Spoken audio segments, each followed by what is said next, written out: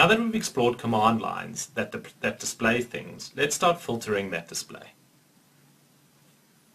We're going to be able to filter with three simple command lines, two of which are very similar. We'll start with those two. Head, display first lines of a file, and tail, display the last part of a file. So if I do head on our example file, it'll display that file's first 10 lines. And if I do tail on an example file, it'll display that file's last 10 lines. Easy peasy. Those two command lines are very similar, which means their options are as well.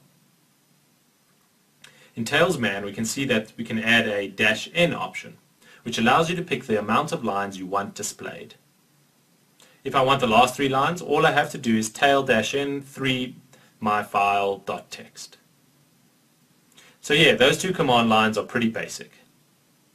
Now let's check out grep, today's third command line. With grep, you'll be able to specify which lines you want to display. For example, if we do a grep of Mateo on myfile.txt, it'll display all lines that contain the keyword Mateo. grep has a lot of options. Let's explore a couple.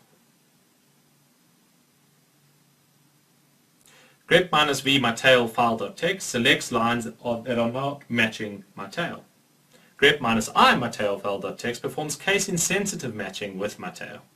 Again, there are many options for greps. Some of them are very useful.